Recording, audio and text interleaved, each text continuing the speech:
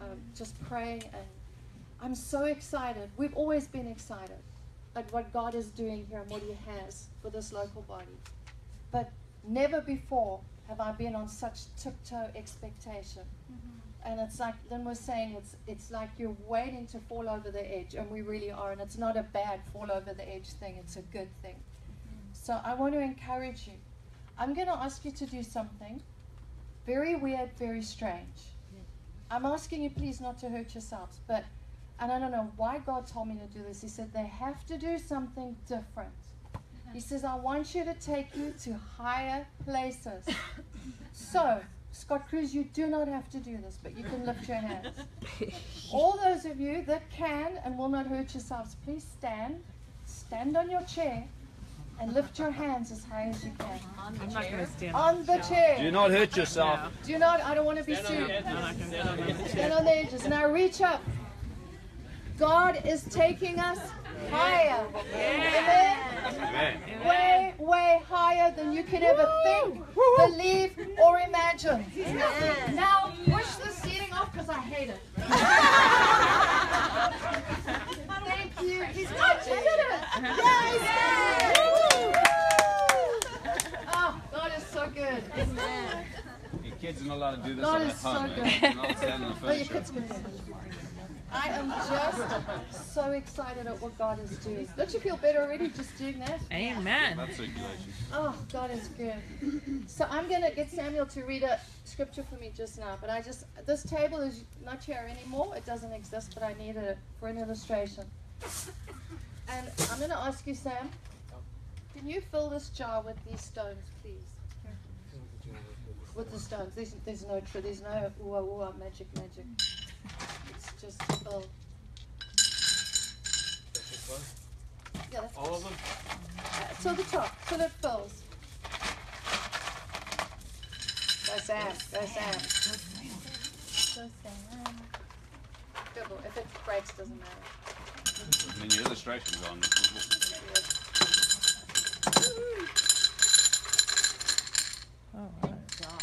Okay, did s- there we go. Thank you, Samuel. You're welcome. Okay, so this, I needed a few more stones. Let's do this. I'm going to ask you, is this full? No. Who says it's full? Well, there's full and there's full, eh? Good. You guys are good. Is it full? No. No. Okay. Let me pick some of those up.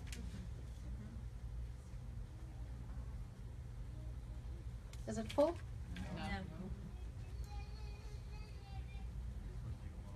Okay. Let's do this. Now we're getting it. Is it full? Not yet. Yeah, almost. fixing to be. I'll stop before it does. What, what I'm speaking on today is first things first.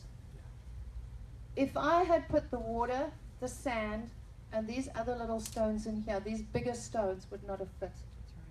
I had to put the bigger ones in first in order for everything else to be put in. This is exactly what we need to do with our lives with God. First things first. God has to be put into our lives first in order for everything else to be put in so that we can be filled. If you do it the other way around, there's no room for God because He's too big. So if you remember anything today, remember this. It's Him first. And I loved last night was First Things First. There's a song that we sang this morning. It said, I want to seek you first. And I appreciate the team this morning. Thank you. You're a great team. Thanks, Felipe. Thank you, Jane. Thank you, all of you. So I'm going to ask Samuel, the, the scripture that I'm reading today is from one of the second smallest Bi- um, books in the Bible, and it's Haggai. I'm going to ask him to read from chapter 1, verses 2 to 14, and I'm going to base the teaching off that. I want you to know, I'm not going to go long, but I want you to get the point this morning. This is what the Lord of Heaven's army says. The people are saying the time has not come to rebuild the house of the Lord. Then the Lord sent this message through the prophet Haggai Why are you living in luxurious houses while my house lies in ruins? This is what the Lord of Heaven's army says. Look at what's happening to you. You have planted much, but harvest little. You eat, but are not satisfied. You drink, but are still thirsty. You put on your clothes, but you cannot keep warm. Your wages disappear as though you were putting them in pockets filled with holes. This is what the Lord of Heaven's army says. Look at what's happening to you. Now go up into the hills, bring down timber, and rebuild my house. Then I will take pleasure in it and be honored, says the Lord. You hope for rich harvest, rich harvests, but they were poor. And when you brought your harvest home, I blew it away. Why? Because my house lies in ruins, says the Lord of heaven's armies, while all of you are busy building your own fine houses. It's because of you that the heavens withhold the dew and the earth produces no crops.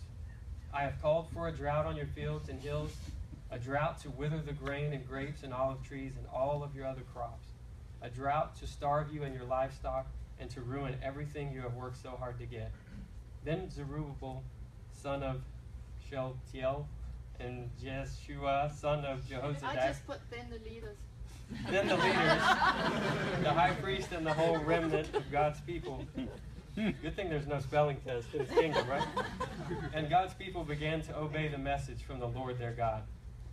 They began to obey the message from the Lord their God. Hmm. When they heard the words of the prophet Haggai, whom the Lord their God had sent, the people feared the Lord. Then Haggai, the Lord's messenger, gave the people this message from the Lord I am with you, says the Lord. Yo. I am with you, Yeah. says the Lord. Ooh, just let that sink in, man. You. I am with you, says the Lord. So the Lord sparked the enthusiasm of Zerubbabel, The leaders. The leaders, and the enthusiasm of Jeshua, another leader, the high priest, and the enthusiasm of the whole remnant of God's people. They began to work on the house of the God of their God, the Lord of heaven's army. Thank you, Samuel. Thank you. Oh, I love that. I am with you, says the Lord. Going to give you a little bit of a background. There's a guy, E.N. Gray, and he spent his life searching the one trait of all successful that all successful people share. The conclusion was not hard work, not good luck, not wise human relations, although these qualities are very important. I'm going to read what he put. The one factor that exceeded all the rest was the habit of putting first things first. He observed the successful person has the habit of doing the things that failures don't like doing. They don't like doing them either necessarily, but their disliking is secondary to the strength of the purpose. So I'm going to tell you our life, in order to succeed, is first things first. What is the first thing? What does Matthew say? Seek first the kingdom of God and his righteousness. Seek first. Then all these things shall be added to you. All of them. Mm. We need to turn the house right side up. Instead of seeking the all things in order to get him, we need to seek him. Mm-hmm. Put first things first. And you know that it's God, if you look at, you have to go and read that, the, the whole of Haggai, and you'll see that Solomon's, the temple of Solomon had been destroyed. It was in ruins. God's people had come through to the land. I think it was 35 years. Not too sure. I read it here somewhere. 70 years later, Babylon had destroyed Jerusalem and Solomon's temple was gone. And when the Jews returned out of exile, they saw that the building was desolate. So these people had come, they'd settled, they'd seen that God's house was in ruins. And what they did is they started to establish their own homes, their own buildings, their own businesses. Nothing wrong with that. And the scripture says that it started to flourish, but what would happen is they would get stuff coming in, but it was never enough. They would drink, but were thirsty. Mm-hmm. There was like this bottomless hole of pouring in, but it just seeping out. So what happens is Haggai comes to the body, to the to the people, and he says, You have neglected the house of God. And the scripture says that some of them had gone, the first lot of settlers had gone and pulled the weeds away and started to clear the building. But then they got weary. And then in the scripture, it talks about how they had paneling in their own homes. Mm-hmm. That was parallel to, it wasn't that they literally had panels. If you study the scripture, It's that they had built their houses and built their houses well, but now they were adorning them with everything else. So their focus was on their own homes, their own things, and they had neglected the house of God. And how much does that parallel with what we see today? Mm-hmm. Is where we have God the Father, His family, the kingdom, but people are so busy building, and there's nothing wrong with having good homes.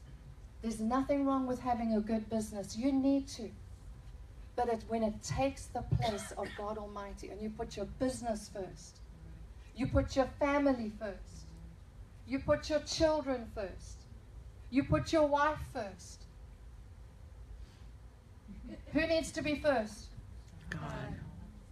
I, I, is that some of you? Who needs to be first? God. Amen. It's really difficult though, isn't it? God needs to be first. So he had to send the prophet. And he said that I want you to start rebuilding the house of God. When you do that, everything else will fall into place and you will see the prosperity. We have to adjust and align ourselves to where we are seeking first. First things first. Amen? Mhm. Amen. So as the years passed, um, I'm just going to read this. Israel had got used to not having the temple. You've got to understand that. I'm going to read this. Homes were built, stores were opened, commerce was established, fields planted, crops were harvested, and life began to resemble normalcy. But Israel, however, got used to life without the temple. They got used to life without God. They got used to life without fellowshipping. Mhm. And I'm going to challenge you. How many of you have got used to life without fellowshipping? Mhm. Because you're too busy Mhm. building the business, taking care of the kids. I, I loved what Lynn said last night. You've got eight children, Lynn. You need a medal. She's got eight beautiful children. She never, and let me tell you, I never, I know Maria never, I never used my children as an excuse not to do what God called me to do. Never. My children never, sac- I never, we never sacrificed our children for the work of the ministry, ever. But we taught our children to sacrifice. Mm-hmm. So I'm encouraging you.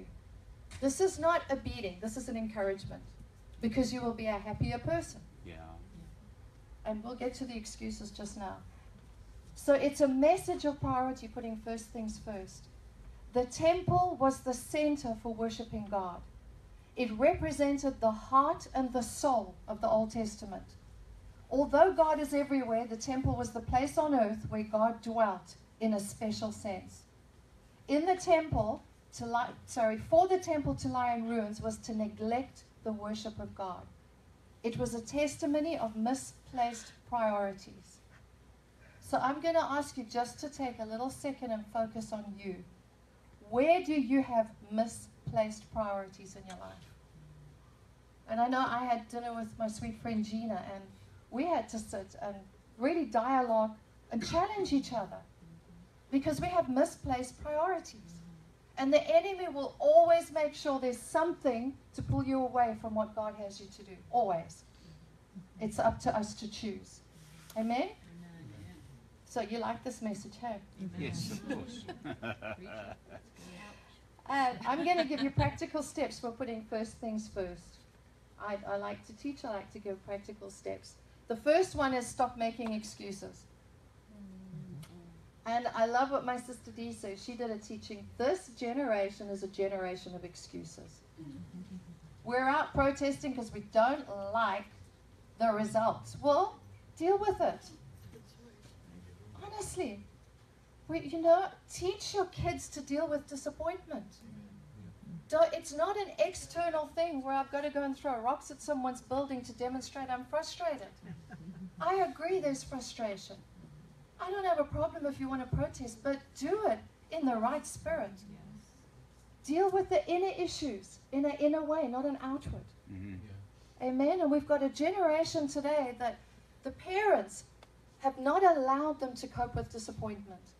They've told you you're good at everything. Let me tell you, you're not good at everything. And I don't mind not being good at everything.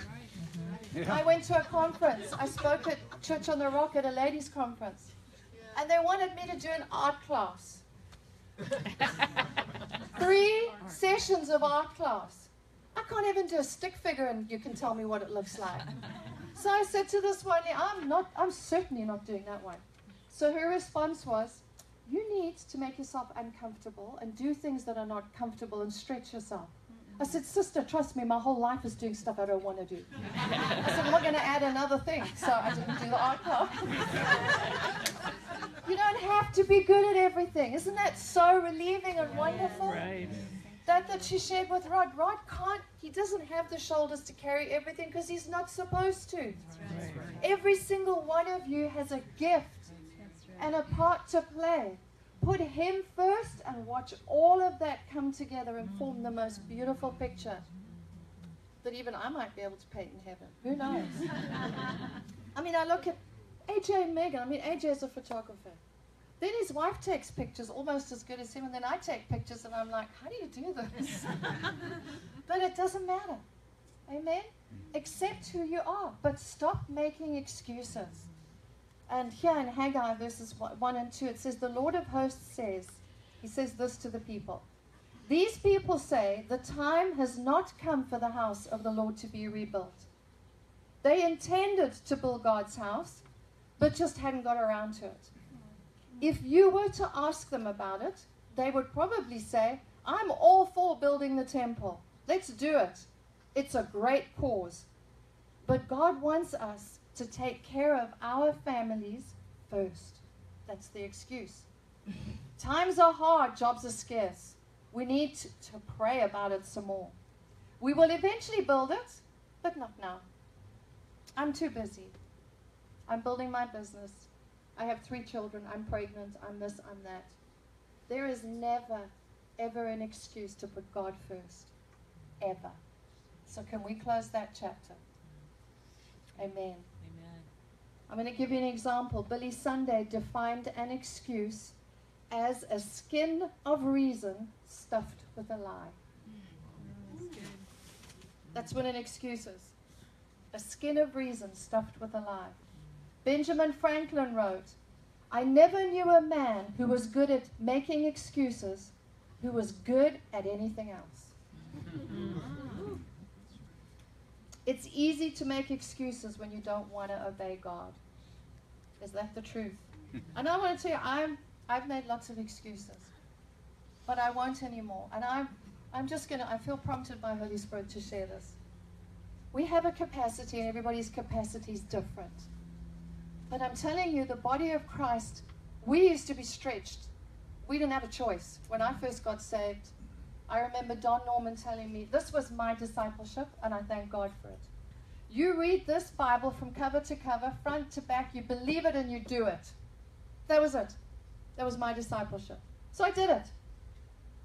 We went to everything, did everything, nearly burn out, but we did it, but I'm grateful for it. Because it made us that kind of person. When Nathan was, Daniel was one and a half, Nathan was two and a half. We left Zimbabwe and we flew and we came to America for nearly a year. We traveled with our kids. We went everywhere with our children.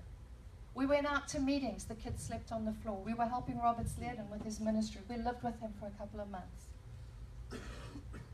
And I'm so grateful mm-hmm. that my children grew up with that, that they can't make excuses. And I know this might come as a bit of a heavy, but I'm challenging you, parents. Come on.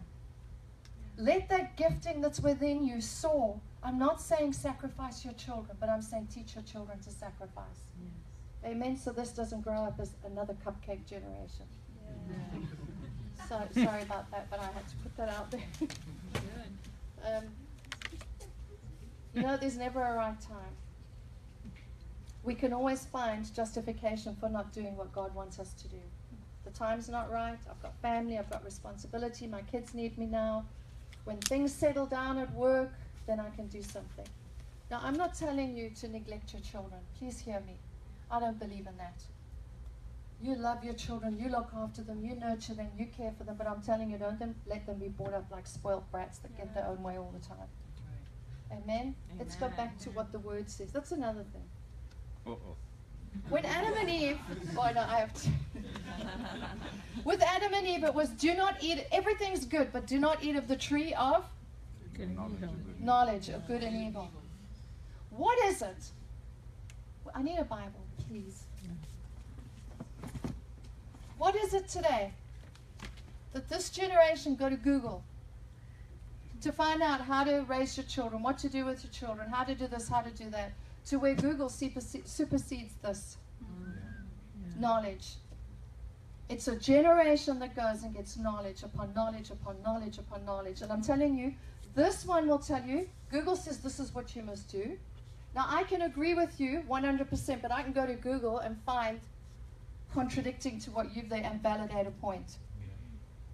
Generation, this is our final authority. What does the Word of God say? Mm. Amen? Mhm. Not Google. I'm so tired of Google when people. I get. Anyway, I'm not going there. Especially as a grandma. Come on, guys. Seriously, let's go to the Word of God and let the Word of God be our standard. Amen. I'm not opposed to Google, but when Google is your vein and your lifeline, apart from this, you're in deep trouble because you haven't put Him first. Yeah. Amen. So do all your parents still love me? Yes. I don't care anyway.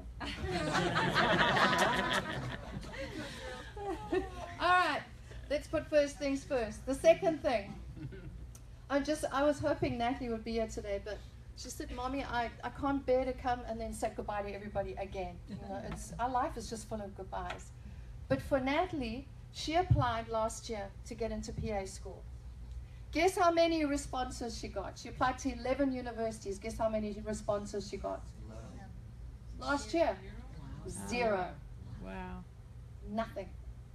She was so disappointed. And I can remember Rod and I sitting with her saying, Natalie, put first things 1st mm-hmm. Put God first and say, God, what is it that you have for my life? What is it that I need to do to get to where you want me to be? So she did it. This year, she applied at 11. Mm-hmm. Guess how many she heard from? Eleven. 11. She didn't get accepted into one. She's been accepted into nine others, and she goes for an interview tomorrow and the next day at UF Wow. because she put God first. Mhm. God first. The year before, she was trying to put everything else in and then put God in. Doesn't work that way. Amen. So I just mm-hmm. I was going to get her to share that, but she's not here. So thanks, Natalie, for watching, and hi to all the South African people watching. It's so nice that because we have it live, you see people pop up, and we've got lots of friends from South Africa, California, England. So hello, wave coastal to everybody on there. All right, the second one, stop being selfish. I'm not going to go on for long. Haggai challenged the people's selfish behavior. He said, The word of the Lord came through Haggai the prophet. It is time for you yourselves not to live in your paneled homes while this house lies in ruins. And then I shared what it represented. The homes were complete while the temple remained in ruins. And God wants us to build that temple. Amen? It's easy to drift away from God's agenda to your own. Very easy. And that's why we need the one another's. Um, I'm going to skip out that. Number three is don't, don't miss God's blessings. When we put God first, we do not miss out on his blessings. Haggai 1, verses 5 and 6, it says, Now the Lord of hosts said, Think carefully about your ways. Think carefully. When last did you think carefully about your ways? You have planted much but harvest little. You eat but never have enough to be satisfied. You drink but you never have enough. You put on the clothes but you never have enough to get warm. He says, Seek first the kingdom of God. My own selfishness will cause me to miss out on God's blessings. And I don't want to miss on his blessings. Amen? I'm going to give you a sobering reminder of what Haggai says. What happens in your heart affects every part of your life. The people have pushed God out of the center, and as a result, they suffered in every area. So, what happens in your heart affects everything in your life. Make sure you put Him first. So, that was Matthew 6 33, where it seek first the kingdom of God. Then, number four, take time to evaluate. Haggai verses 1, 5, and 7, twice in the same um, paragraph, he says this to us The people realized they had caused their own calamities. Twice Haggai instructed the, instructed the people consider your ways. So I'm going to ask you today, because of Holy Spirit, not because of me, and because of what God wants to do and where He has positioned us and where He has positioned you. Sit before Father. This is not a religious thing. This is not about the do's and the don'ts. Sit before Father. Consider your ways and put first things first. Amen? We need to take time to evaluate. Socrates wrote, The unexamined life is not worth living. I want to be examined, I want to be measured. And every day we need to evaluate our lives. If God is not first, guess who removed him from, the, from you in the first place? It's not God. The failure to take the proper precautions today will result in severe consequences tomorrow. Let's take care of today. And this is what happens when God is first in our hearts and first in our lives. Haggai verses 1 to 8, it says, We are active in the right things. Just for time's sake, you can go and read that again. But we are active in the right things. So I ask you, are you active in the right things? I don't want to get to the end where um, that scripture, Matthew 6, but I'll get to that. Number B, God is glorified.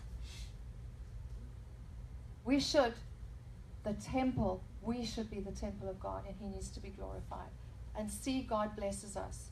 Hosea 1:13 he says, "I am with you." When you put God first, you experience a new awareness of his presence, and that is true blessings. Amen? Amen. When you put him first. And I'm going to end with reading this, and I love the scripture from the message, but I'm going to read it first in a different translation. Matthew 6, verse 19. It says, Do not accumulate for yourselves treasures on earth, where moth and rust destroy, and where thieves break in and steal but accumulate for yourselves treasures in heaven where moth and rust do not destroy, and thieves do not break in and steal.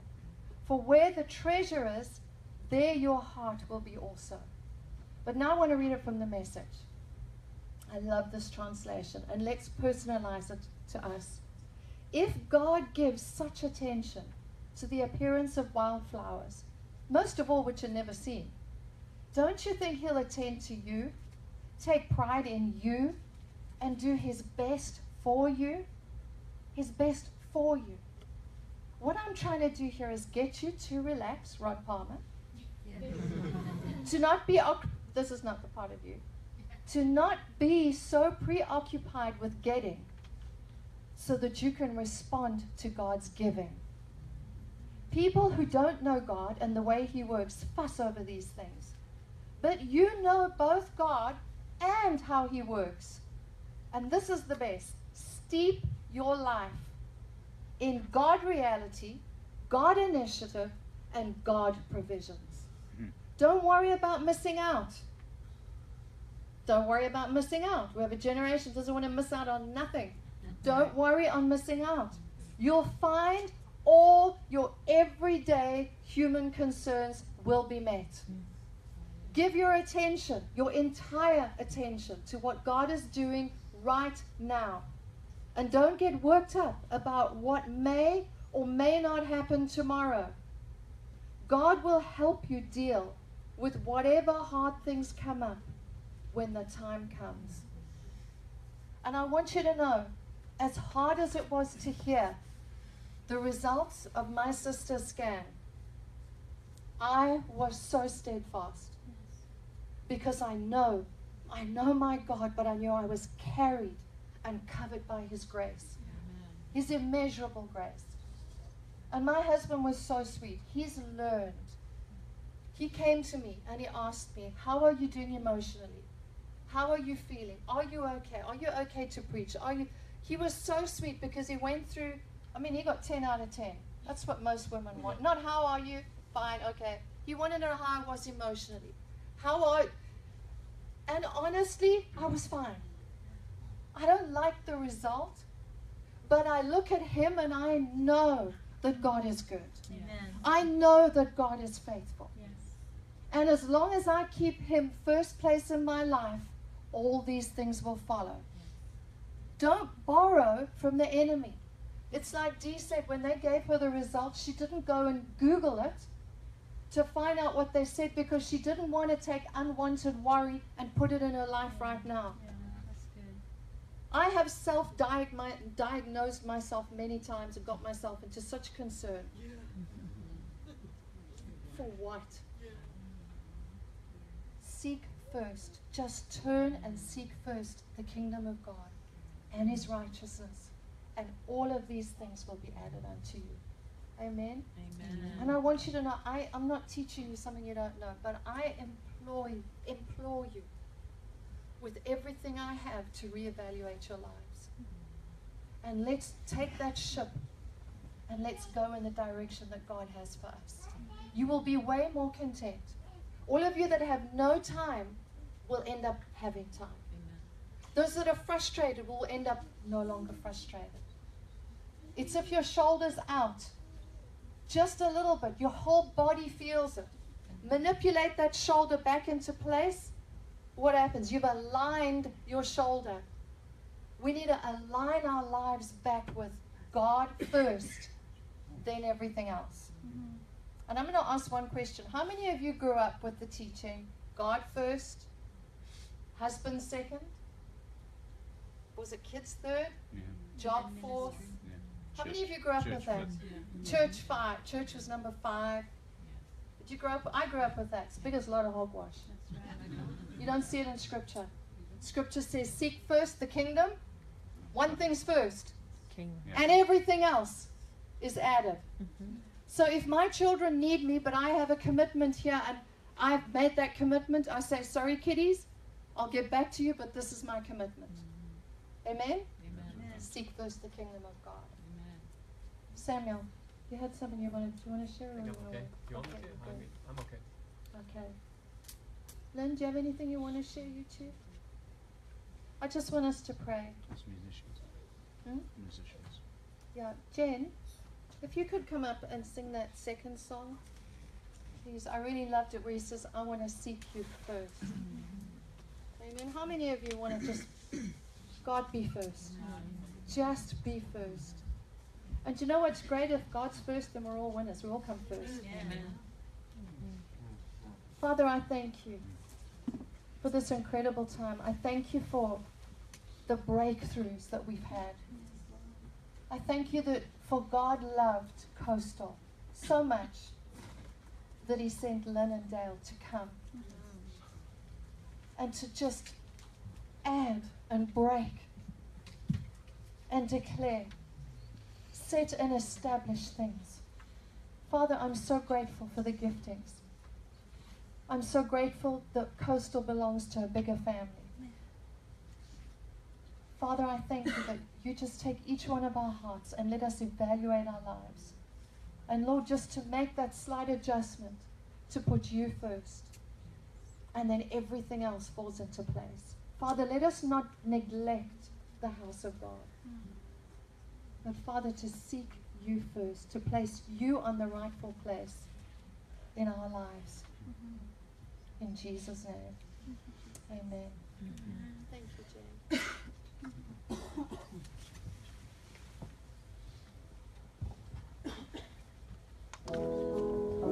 While we sing that, uh, we're going to sing that song, the second one. If you have any prayer needs, I just the prayer team. If you could just come and stand up here and just, honestly, we want to, we want to be able to allow God to be first to deal with your situation. If there's things that you need to talk about to God about aligning Him, uh, aligning Him to be first, the Bible says repent. That, that, that, that word just means I'm going to change my mind. What was now second, I'm going to put first. What was dominating my life is not no longer. And, and that's basically just the simplest thing out to make that adjustment. And the Father will meet you where you're at. But if there's, there's things that you, you, is taking you away, concerns, financial, health wise, loved ones, the Bible says where two agree touching anything, it's done by our Father in heaven. The prayer team are available to stand in agreement with you and speak faith, speak life, speak hope, say yes and amen with you, and put Him first and watch the things align as God adjusts, as God comes and meets you where you're at. So don't sit in your seat.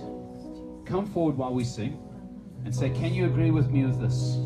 Or can, can you just stand with me as we pray there? Or can you pray for this? Because I just, I, just, I just need somebody to agree with me. Take advantage of it, church, because that's what, that's what happens. It makes you more productive for the week. It makes you more of, of the kingdom people that we need to be as we walk out into the highways and the byways. So let's just get get get that as we as we just sing the song. Come up forward, and I just want to give you that opportunity in Jesus' name.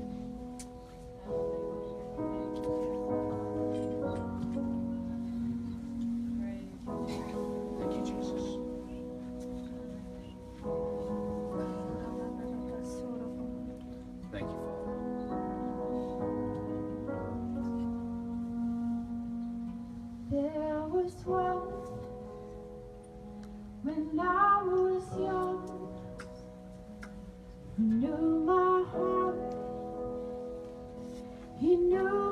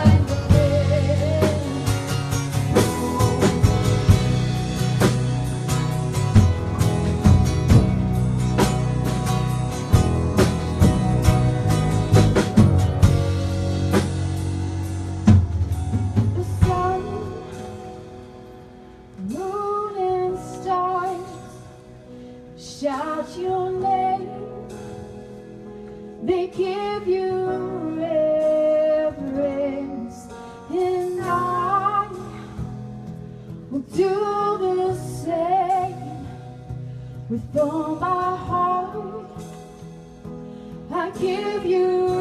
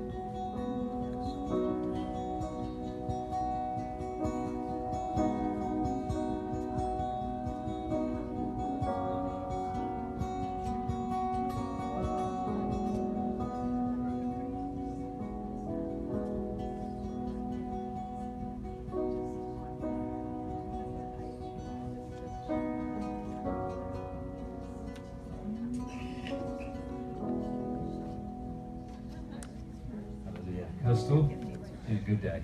It's been a great day. It's just begun. So I want to bless you, pray for you, and release you, and uh, allow them to carry on. If you still feel like you need ministry, you come up and get prayed for. Father, thank you. Thank you for family. Thank you for family time. Thank you for family victories. Thank, thank you, Father, that we would go out and know that you are first. Yet you are the great shepherd that leads us beside still waters and into pastures green.